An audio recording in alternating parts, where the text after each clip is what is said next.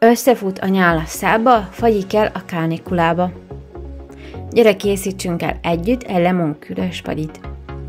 További tartalmakért nem felejts el bekövetni itt és Instagramon is. A teljes receptet a sütiseriből.on találhatjátok, ti is el tudjátok készíteni. Mutatom én, hogy olyan készítettem el. A tejszint, a lemonküldött, a porcukrot összekeverjük egy tába, habá vegyük haverőgép segítségével, hűtőbe tesszük a keveréket minimum 6 órára, fagyig gépbe öntjük a krémet, géppel kikeverjük, majd kiszedjük egy tápa.